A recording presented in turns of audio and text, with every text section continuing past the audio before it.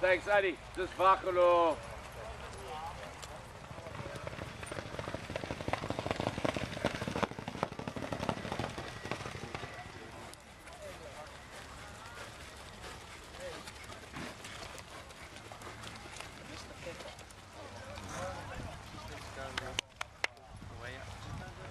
Uh, his workout this morning was uh, superb. Uh, he needed a good, short, sharp blow. Um, and uh, I was obviously pleased afterwards that uh, he couldn't blow out a candle, so his fitness level is, is pretty high.